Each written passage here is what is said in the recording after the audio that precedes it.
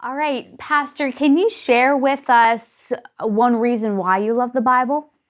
Well, I can give you more reasons than one, but one of the first things I uh, I had difficulty reading when I was in when I was in school, and the Holy uh, after I was saved, became uh, filled with the Spirit, I started reading the Bible, and the Holy Spirit used the Bible to teach me to read.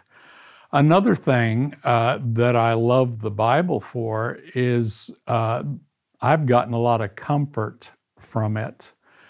Um, in times when when I felt troubled or distressed, I would read the Bible, and it would bring strength to my inner man. Uh, another reason I love the Bible is because uh, I'm a person of truth. And one thing I just hate is uh, how the enemy has lied uh, to all mankind.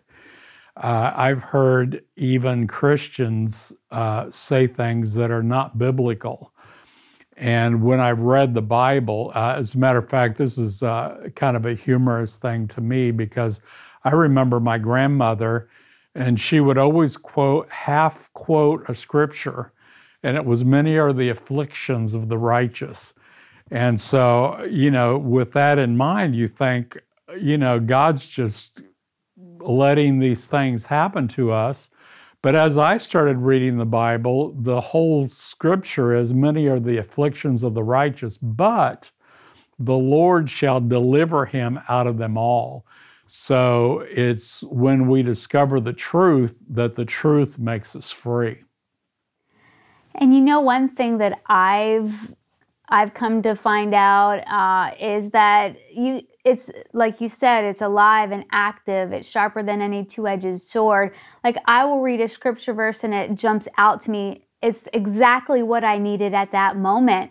Or there are other scripture verses that i may read quite a number of times but in that one instance when i read it it just jumps out to me and is exactly what I need in that moment. Uh, so, thank you so much for sharing about your personal experience with the Bible, and I encourage you to, to find pleasure. your own.